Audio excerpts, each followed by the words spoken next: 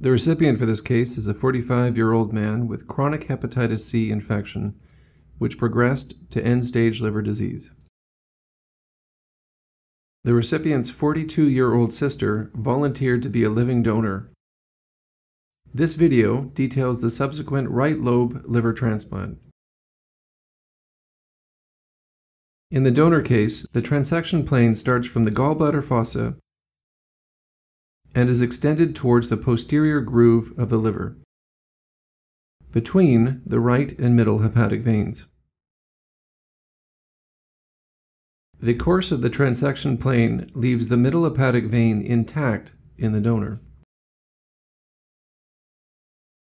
The resulting donor graft had a single hepatic vein, single portal vein, single hepatic artery, and a single bile duct.